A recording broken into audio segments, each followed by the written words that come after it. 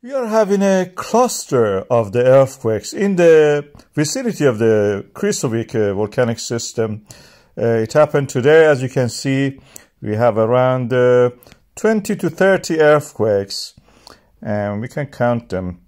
Uh, at the depth of the 8 to 5 kilometers, uh, these are small earthquakes. Some of them are bigger, but most of them are small. These are tectonic earthquakes, uh, rocks are moving and pulling apart by the forces of the uh, you know continental drift. This is the contact point of the Eurasian and the American plates. Uh, Eurasian plates is moving uh, eastward and as it moves uh, through the transform faults transfers the movements toward the east. This is Inside the Eurasia, the boundary part you can see in the red line, Eurasia is where this earthquake is happening and the eruptions are happening there.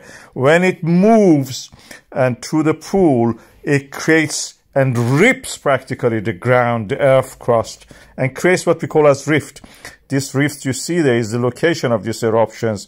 And over time, as this rift moves and ripping moves from one point to next one, eruptions happens in sequence from the first to the second and the third. These are the volcanic systems in that area.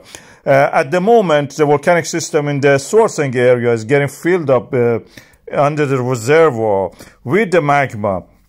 It will fill up as much as it can erupt when it drains and it cannot erupt anymore because every time it needs more pressure, more magma actually to build up to create the same level of eruption. So over time, you practically gradually cease, you know, and gets weaker. So when that gets weaker, this is the term for Krýsuvík. The eruptions will happen there.